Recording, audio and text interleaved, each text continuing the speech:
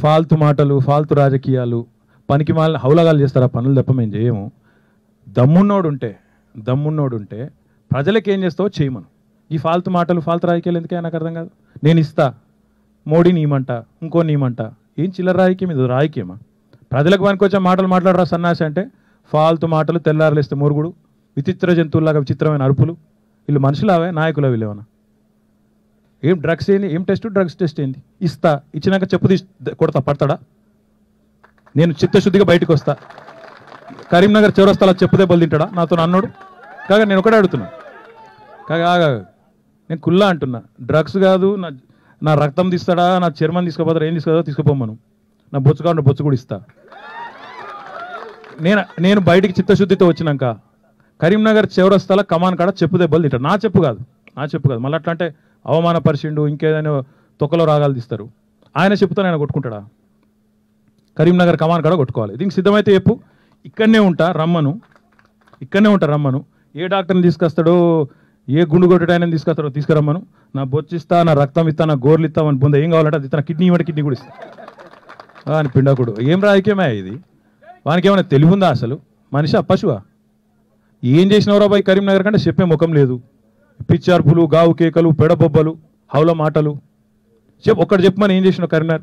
కానీ తీగలగుట్ట కాడ తీగలగుట్ట పల్లి కాడ కనీసం ఆరోపి తెచ్చే ముఖం ఉన్నదా ఆయనకు? గది కూడా కాదు. ఇందిరాబాయ్ అంటే హిందూ. పోను టెంపుల్కో నాలుగు పైసలు తెచ్చినవా?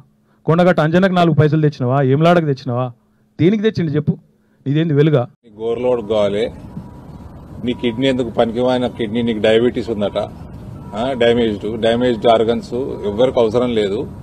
ఫస్ట్ తమరు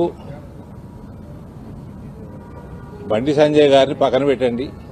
రేవంత్ రెడ్డిని రేవంత్ రెడ్డి ఏదో ఇస్తే ఈయననే ఈయన ఎంటికలు ఇస్తా అన్నాడు డ్రగ్ టెస్ట్ కోసం. కేటీఆర్ అనేటోడే ఛాలెంజ్ చేసిండు. ఒక అపోజిషన్ పార్టీ ప్రెసిడెంట్కి ఛాలెంజ్ చేసిండు. నువ్వు ఇచ్చి నువ్వు ఇస్తా అన్నావు ఇన్ని రోజులు ఎందుకు ఇవ్వలేదు నీకు ఇచ్చేది ఉంటే నువ్వు ఇచ్చేయి.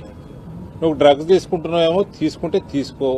తీసుకోకపోతే మొదలు పెట్టుకో అదంతా అనవసరమయ్యా. నువ్వు ఒక రెస్పాన్సిబుల్ మంత్రివి. నువ్వు రేవంత్ రెడ్డికి ఏదో ఇస్తే నువ్వు ఇస్తా అన్నావు. అందులో కూడా క్విట్ ప్రోకోనే మళ్ళా. ఏదో ఇస్తేనే ఇస్తారట ఈయన.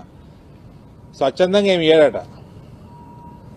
నీ మాట మీద నిలబెట్టుకో. నీవు నీకు ఒక మంత్రిగా ఒక ముఖ్యమంత్రి కొడుకుగా క్లీన్గా బయటికి రా. అది నీకే మంచిది. ఇవన్నీ పనికిమాలిన మాటలు పక్కకు పెట్టి తెలంగాణ ప్రజలు ఇవన్నీ గురించి ఎవడు ఆలోచిస్తలేడు.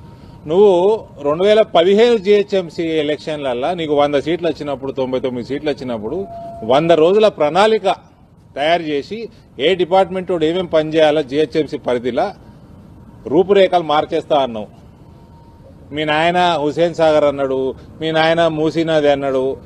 మళ్ళా రెండు వేల ఇరవై జిహెచ్ఎంసీ ఎన్నికలల్లో నాయబ్రాహ్మలకి ఫ్రీ కరెంట్ అంటివి వాళ్ళకి ఐదైదు పది పది లక్షలు వాళ్ళ సామాగ్రి కొనుక్కుంటానికి లోన్ లాంటివి రజకులకి ఫ్రీ కరెంట్ అంటివి వాటర్ బిల్ ఉండదంటివి.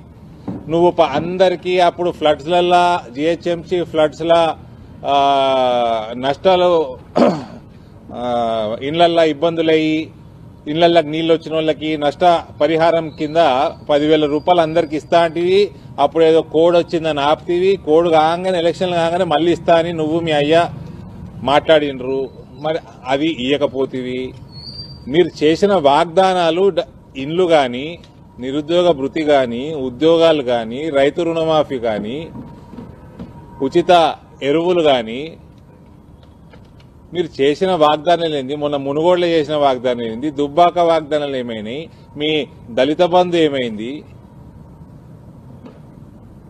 ఇవన్నిటి గురించి నువ్వు ఒక మంత్రిగా జవాబులు ఇవ్వాలి కానీ నీ పనికి మాలిన డ్యామేజ్డ్ కిడ్నీ నీ దొడ్డైన నీ తోలు నీ గోర్లు నీ బొచ్చు ఎవరికి కావాలరా నాయన ఇవన్నీ?